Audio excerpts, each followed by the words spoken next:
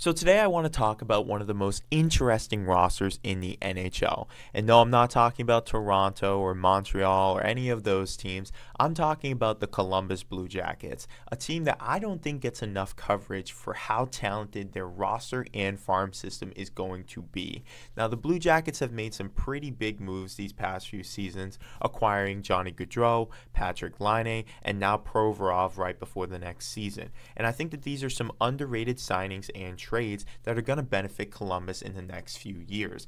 Now, it's always been weird to watch this franchise because one year they'll be in the playoffs and the next year they're at the bottom of the league. They sort of feel like the Boston Red Sox to me right now.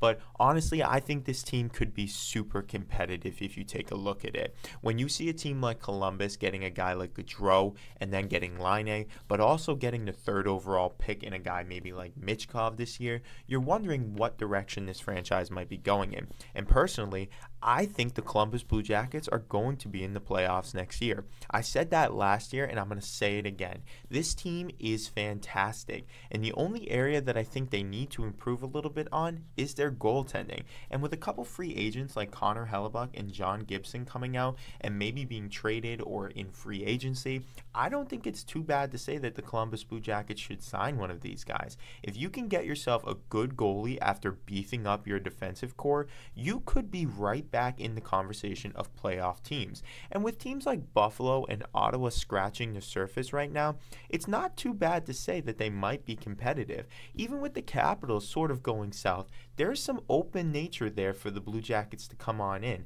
I think that they have a shot with the roster that they have, with the farm system that they have, to maybe make a few trades and get a couple pieces that would push them right over the edge.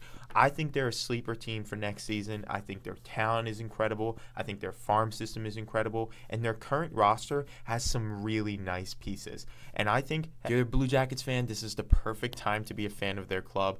They're in the best stage of what hockey fans love. You have a young team that looks super competitive and pretty much talented in every area except for one with the goaltending, which we already talked about. We're hoping that they go and get a guy like John Gibson or something. I think that would be nice for them. But what do you think? Should the Blue Jackets go all in this year, try to acquire some pieces and be competitive for a playoff spot, or are you fully built on their rebuild right now? You think that they need a couple more years before they're playoff competitive?